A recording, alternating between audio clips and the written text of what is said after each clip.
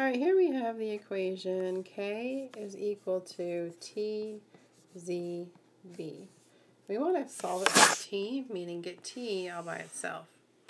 To do that, I, t is multiplied by z and by b. So to undo multiplication, I divide by z and b. So that divides them out. And uh, on the other side, I have to divide by z and b. So t is just equal to k over zb.